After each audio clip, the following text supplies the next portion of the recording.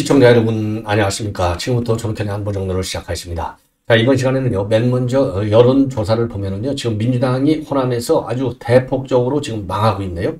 자이 예, 여론조사 내용을 맨 먼저 말씀을 드리고 지금 이제 방금요 우리 국민의힘의 공천관리위원회 회의가 끝났습니다 자 그래서 이번에 예, 오늘 지금 발표된 누를 중심으로 해서 이렇게 말씀을 드리도록 하겠고 그 다음에 윤 대통령의 예, 이 관련 어, 이 특별 어, 지시 특별히 어, 예, 강하게 지시 내린 사항이 오늘 또 있어요.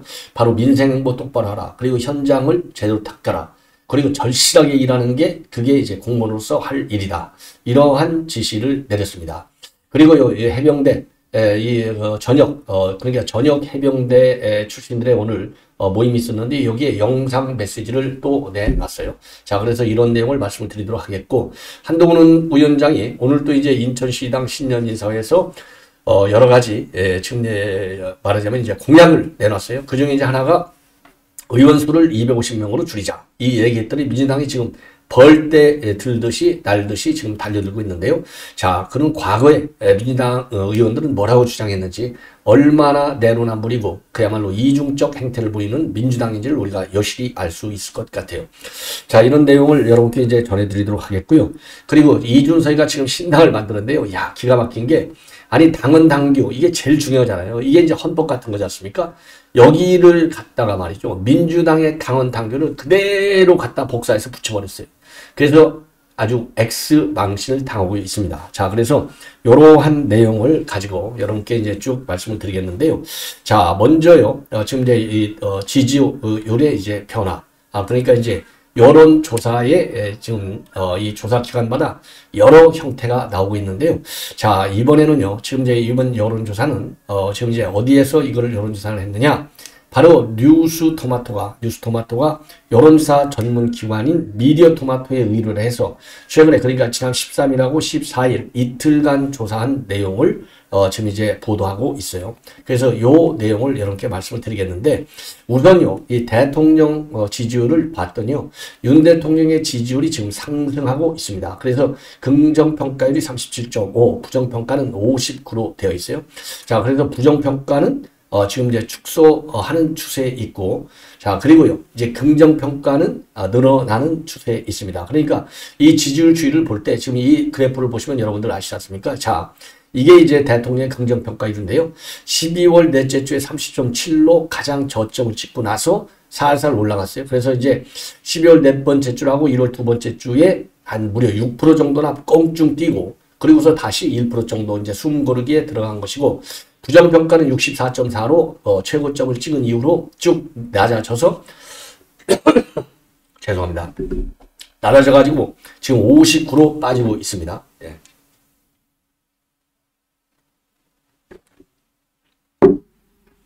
죄송합니다.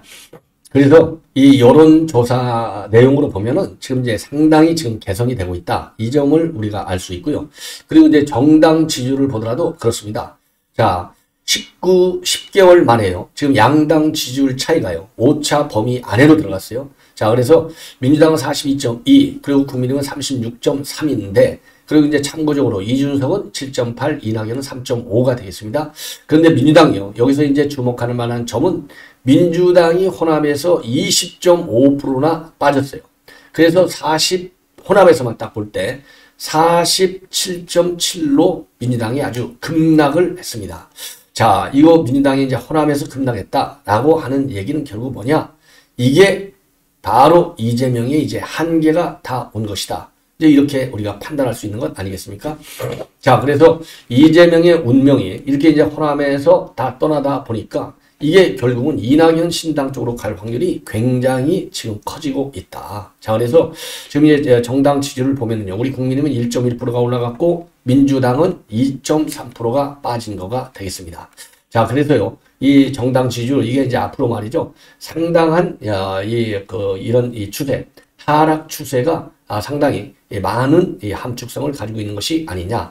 자, 이런 측면에서 이번 어, 지지율의 변화는 굉장히 의미가 있다. 이렇게 보여지고요. 자, 그리고 말이죠. 지금 이제 이 연령별로 조사를 해봤습니다. 자, 그랬더니요. 지금 이제 이준석 신당의 경우에는 20대와 30대에서 15% 그리고 11.5%두 자릿수 지지율을 기록하고 있고 지역별로 보면 경기 인천하고 충청권 그리고 호남, 강원, 어, 제주에서는 민주당이, 그리고 영남에서는 국민의힘이 이제 우세를 보이고 있는데요. 민주당의 지지율이 조금 전에 말씀을 드린 대로 호남에서 20.5%를 빠지면서 47.7을 기록하고 있고요. 자, 이준석의 신당은 지난주 1.8%에서 12.4%로 호남 지지율이 크게 상승하고 있어요. 그래서 호남에서 민주당 지지율이 빠진 것이 상당 부분은요. 이준석 신당으로 지금 가고 있는 이런 상황으로 되어 있고요. 그리고 지금 현재 이 서울의 경우에는요. 양당의 지지율이 지난주 12.1%에서 이번 주는 또 5.9%로 많이 줄어들고 있습니다.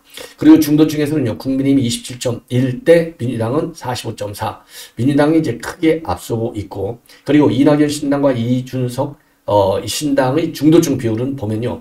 이준석의 중도층에서는 9.4, 그리고 이낙연이 중도층에서는 5.2를 기록하고 있습니다. 자, 예.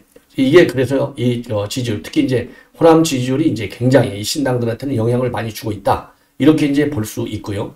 자, 그리고 이제 이준석 신당하고 이낙연 신당하고 둘이 이제 합쳐질 경우에, 예, 이 삼지대 신당들이 빅텐트를 통합할 경우에는 당 간판이 누가 좋겠느냐 했더니요. 이준석이가 20.9, 이낙연은 16.4밖에 되지 않아요. 그리고 금태섭은 3.8, 그리고 이 조홍천이가 3.3, 김종민이 3.1, 양양자 2.7, 이원욱 0.9. 그래서 빅텐트 속의 어, 신당의 대표는 이준석이를 간판하는 게 좋겠다. 그래서 호남에서는요. 그런데 이제 이걸 볼 때, 자 호남에서는 이준석이를 간판하는 게 좋겠다는 의, 어, 이 어, 지지율이 압도적으로 높습니다. 자 그런데요, 어, 이 거꾸로 이낙연의 경우에는요. 이낙연의 경우에는 지금 어, 이 TK 측에서는 이낙연을 간판을 하는 게 좋겠다. 이렇게 해서 호남과 TK가 이준석 대 이낙연으로 지금 갈라지고 있어요. 예. 자, 그래서 지금 이제 이 중도층에서도 어, 전반적으로 쭉 보면요. 지역별로도 지금 이제 이낙연보다는 이준석이의 예, 지금 지지율이 지금 높아지고 있다. 아, 이렇게 지금 이, 어, 이 뉴스토마토 여론조사를 보면 그렇게 지금 나타나고 있습니다. 자, 그리고요. 아, 그리고 이제 또, 또 다른 이제 여론, 어, 내용을 이제 말씀드리면, 이제 정당 지지율의 추이도 제가 이제 쭉 말씀을 드린 대로, 또 국민의힘은 상승 기조, 그리고 민주당은 하락 기조. 예. 자, 그리고요. 이준석 신당도 5.7에서 7.8로, 어, 지금 이제 1월 두 번째 짜고 세 번째 일주일 사이에 이렇게 많이 달라지고 있고, 그 다음에 지금 이낙연 신당은요, 조금 빠지는 추세. 그래서 이낙연과 이재명의 차이는 한 4% 정도로 이낙연이가 지금 뒤지고 있다. 이렇게 지금 보여집니다. 예. 자, 그리고 이거는 이제 조금 전에 이제 말씀을 드렸고요. 자, 거부권 행사와 관련해서 그러니까 이태원, 어, 이태원 참사 특별법에 대한 거부권 사용하는 거. 이거는 어, 이 수도권하고 충청권, 호남에서는 반대가 많고 PK는 팽팽한 걸로 되어 있습니다. 그런데 전 국민을 대상으로 해서는 거부권 행사에서는 안 된다가 54.4%, 행사하라가 36.6, 실파 18%나 높게 되어 있어요. 그리고 제2부속실 설치와 관련해서는요. 이 부속실을 설치하고 특별 감찰관이 임하는 게 좋겠다가 이게 32.5%. 예, 이게 적절하다. 그거 가지고는 미흡해. 이게 51.3%입니다. 자, 그래서 51.3%가 되는 미흡하다는 여론을 우리 국민의힘이 앞으로, 그러고 특히 이제 한동훈 위원장이 어떻게 이거를 극복해 내느냐. 이게 이제 상당한 이제 숙제가 되겠죠.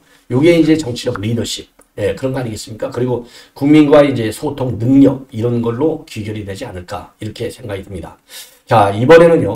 어, 지금 이제 방금 지금 어, 이 보도가 되고 있는 내용인데 지금 국민의힘에서 그 공천 룰을 발표를 했습니다. 자, 공천 기준을 발표했는데 공천 기준을 발표한 내용을 보면은요. 우선 계략적으로만 지금 나와 있는데 강남 3구를 제외한 수도권에서는 이제 경선을 어, 하고 그리고 일반 국민과 당원 비중은 경선 시에 8대 2로 한다. 예.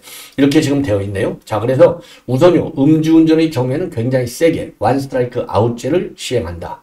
그리고 성폭력을, 어, 성폭력과 관련해서 2차 가해, 그 다음에 학폭, 그 다음에 직장 내 괴롭힘, 이거는 이제 부적격 처리한다. 그리고요, 우선 공천하고 단수 공천 지역을 어, 좀 줄이겠다. 그래서 경선 의미를 희석시키면 안 된다. 그래서 대부분의 지역을 갖다가 이제 경선으로 몰고 가겠다. 이런 얘기인 것 같고요. 3선 이상 중진의 경우에는요. 경선에서 15%를 감점한다. 이렇게 되어 있습니다. 그리고 현역 의원의 교체 지수는요. 권역별로요. 권역별로 하위 10%를 컷오프한다. 예, 권역별로. 그리고 34세 미만의 도전자에 대해서는요. 최대한으로 가산점을 준다. 이제 그러니까 이 얘기는요. 결국은 이제 청년들의 이 정계 진출을 갖다가 좀 이 어, 점수제를 통해서 높여주겠다. 아, 이런 입장이 되겠어요. 자, 그래서 어, 제가 볼 때요. 현역연 고체지수, 권역별 하위 10% 이거 여러분들 양해 찹니까? 자, 그래서 요거가 앞으로도 이제 뜨거운 감자가 될 것이 아니냐. 과연 권역별 하위 10% 가지고 우리 국민들의 이 정치 주도 세력의 교체 이거 받아낼 수 있을까요? 예, 조금 저는 궁금해집니다. 그렇게 좋은 여론의 평가를 받지 않을 것 같다. 이렇게 안정적 공천을 하겠다. 이런 얘기거든요. 그 이유 중에 하나는 어쨌든 간에 이제 공천 시기는 지금 임박해 있는데 이게 지금 예, 김건희 여사의 특검법하고 딱 연결이 돼 있잖아요. 그래서 공천 탈락자가 많으면 거꾸로 재의결 가능성이 더 커지는 거 아니겠습니까? 요거는 이제 여권에 대해서 굉장한 부담이 되기 때문에 요 안정적으로 공천을 좀, 어, 이 최소한도, 즉, 불가리를 최소화하겠다. 그래서, 어, 김건희 여사, 아, 이 특검법 재의결할 때 반란표를 줄이겠다. 이런 얘기 아니겠어요? 글쎄요, 과연 이 여론이, 그런 여론이 예, 과연 이제 총선하고 비교해 볼 때 어느 정도나 영향을 줄 것이냐. 제가 보기에는 틀림없이 지금 여론조사들을 보면은요.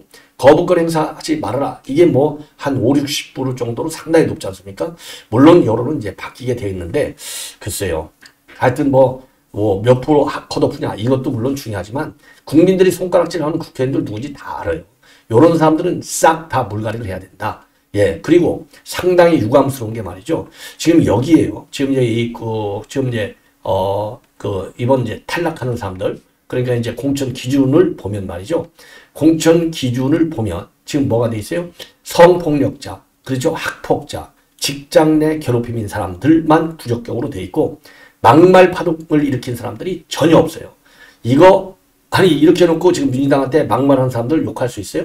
김의경이 정청래 욕할 수 있습니까? 이 얘기는요, 지금 여권 내에서 정략적으로 또는 정책적으로 아니면 전략적으로 공천을 시켜줄 사람들 가운데 과거에 막말 파동에 휘둘린 사람들이 있다 이겁니다. 제가 본 방송에서 누군지 거명을 안 하겠는데 제가 적절한 타이밍에 그런 사람들 싹 이름을 정리해서 발표하겠습니다. 예. 그래서 지금 막말 파동을 한 사람들을 갖다가 지금 한동훈 위원장 인기가 지금 좋아지니까 슬그머니 그 인기로 덮고 넘어가겠다는데 아니 그렇게 가지고 지금 한동훈 위원장이 내세우고 있는 정치 개혁의 이큰 어, 이 틀 요거가 기준하지 않도록 관리할 능력이 있느냐? 제가 보기에는 아니올 시합니다. 그래서 이거 공천 공간위에서 이제 오늘 일단 정했지만 정했지만은 이거는 그야말로 눈 감고 아웅하는 식의 이런 어 그러니까 이 컷오프 비율도 너무나 낮고 그리고 학폭, 성폭력, 직장 내 괴롭힘만 얘기돼 있지 그때 그때 말이죠 막말을 일으켜 갖고 얼마나 난리를 쳤냐 이거요. 여러분들 기억 다, 다 나실 거예요. 그런 사람들 지금 한두 명이 아니에요. 요 사람들은 하나도 안 다치게 지금 만들어 놓은, 거, 놓은 거거든요. 요렇게 해가지고 총선에 슬그머니 넘어가겠다. 아니 민주당이 가만히 있을 정당입니까? 그래 놓고서 김의겸이 욕할 수 있어요? 그리고 나서 정청래 욕할 수 있어요?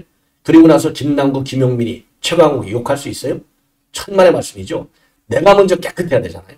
이거 한동훈 표, 한동훈 브랜드의 공천 기준 절대 아니라고 봅니다. 자, 그래서 공관위하고 이거 뭐 다 내부적으로 조율해서 했겠지만 이거는 눈 감고 아웅하는 식의 공천 개혁이다. 이렇게 해갖고는요, 공천 개혁의 개자도 못 꺼내요. 예. 자, 이 정도로 말씀을 드리도록 하겠고, 예.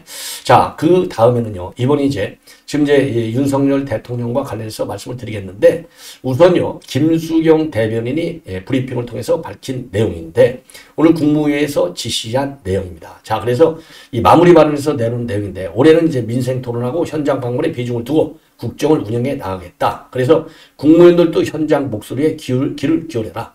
그래서 자리에 앉아서 보고받는 것하고, 그리고 현재 나가서 직접 관계자들 목소리를 듣는 것은 업무를 대하는 절실함에서 차이를 만든다. 자, 그래서 현장 중심으로 빨리빨리 파악해서 국민이 원하는 바를 빨리 해결하는 그래야만이 신뢰받는 정부, 유능한 정부가 되는 것이다. 그리고 부처 간 벽 협을기를 똑바로 해라. 그래서 민관협력, 산학협력, 국제협력 모든 분야의 협력이 원활해지게 해라. 그리고 올해는 협력의 정부 현장 중심의 정부가 됐다. 그리고 약자 보호 똑바로 해라. 이렇게 특별 지시를 내렸습니다. 그리고 오늘 경기도 성남 이 밀리토피아 이 호텔 이름도 이제 밀리잖아요. 밀리터리. 밀리토피아. 이렇게 해서 이거는 군에서 운영하는 이제 호텔이 되겠는데요. 여기에 영상 메시지를 보내가지고 이번 지난 5일날 북한이 예, 포격 도발 때 200발 했는데 우리가 400발을 쏴서 응징을 했지 않습니까? 보복. 요거와 관련해서 어, 이 든든하다 해병대 이런 격려의 메시지를 냈습니다. 예. 대통령께서 직접 냈고요. 그 다음에 이제 또 하나 중요한 것은 지금 한동훈 위원장이 뭐 매일같이 일종의 정치 개혁에 지금 청사진을 내놓고 있어요. 자, 이 청사진을 지금 내놓고 있는데 지금 이 청사진과 관련해서 보면 이제 오늘부로 지금 네 건을 내놓고 있어요. 지금 오늘부로 지금 네 건을 내놓고 있는데 이 민주당에서 요거를 지금 계속 시비하지 않습니까? 자, 그래서 이제 오늘 인천에서 내놓은 것은 국회의원 정수를 갖다가 50명을 감축해서 300명짜리를 250명짜리로 줄이자. 요런 지금 제안을 했어요. 자, 그래서 그동안에 지금 이제 이 정치 개혁 내용으로 내놓은 게 이제 세 건이에요. 봐, 불체포, 그 다음에 이제 세비 반납, 그 다음에 재보궐선거, 귀책사 있을 때 내지 않는 거, 그러다가 네 번째가 250명으로 줄이는 거. 요렇게 이제 발표를 했습니다. 자, 요렇게 이제 발표를 하다 보니까 지금 민주당에서 무슨 소리냐? 이건 포퓰리즘이다. 이게 말도 안 되는 소리 하지 말라. 이제 쉽게 얘기해서 그거 아니겠어요?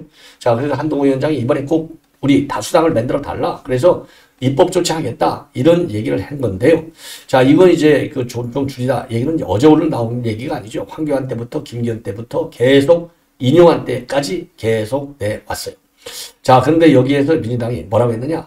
선거철 반짝 인기를, 예, 반짝 인기를 위한, 예, 인기를 위한 떴다 방식 공약이다. 일종의 이제 포퓰리즘이라는 것이죠. 예. 그리고 이제 박용진이도 어마어마하게 비판하고 있어요. 그래서 이거는 이 민주당 공식 입장은 정치 혐오를 부추기는 정치 개혁 아니냐.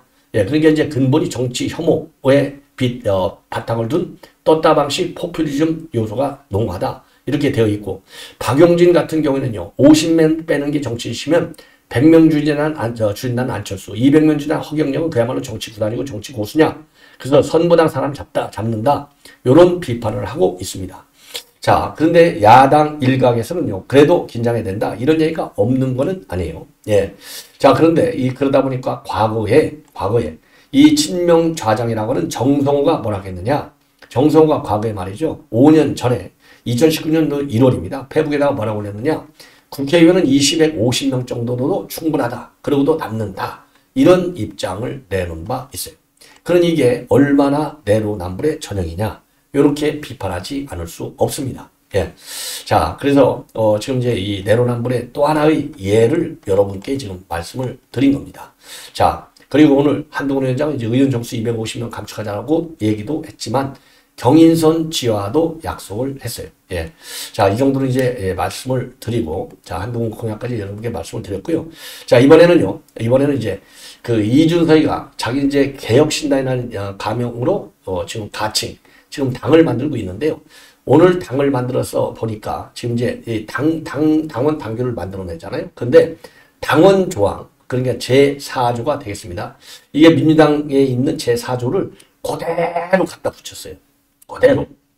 자, 그래서 이게, 이게 그대로 붙일 게 따로 있죠. 이 당원 당규라고 하는 것은 정당에서 제일 중요한, 뭐, 이 국가 차원에서 본다면 이거 완전히 헌법과 같은 내용이잖아요. 근데 이거를 그대로 뜯어서 갖다 복, 복사해서 붙여버린 거예요. 그래서 4조 자격 개 1, 2, 3항 그리고 이제 필요한 사항은 당규로 정한다. 다음과 다음 해 해당되는 복당을 허용하지, 않는다 해놓고 성범죄 제명된 사람들 그 다음에 공직선거 출마 신청한 후보자로서 당의 결정에 불복 탈당한 사람들 그러니까 성범죄 제명자 그 다음에 선거 때 불복해서 탈당한 자 요런 사람들은 이제 그 당원 자격이 될 수 없다.